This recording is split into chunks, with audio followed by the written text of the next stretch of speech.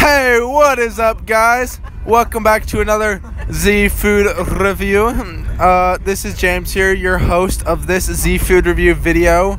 So today, what we're looking at is a Banana Boat Sport Performance sunscreen.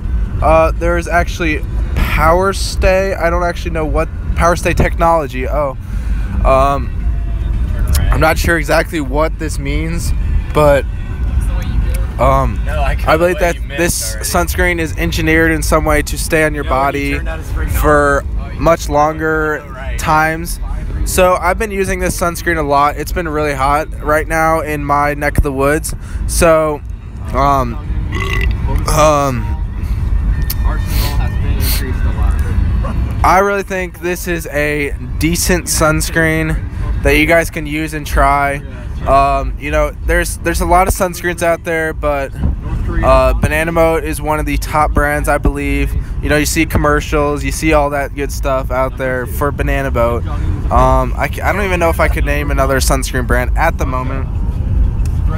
Um, so overall, I believe that this is a good sunscreen. You know, I, like the spray-on kinds. That's a big uh, pet peeve of mine. I don't like rubbing it all over me, like some people do.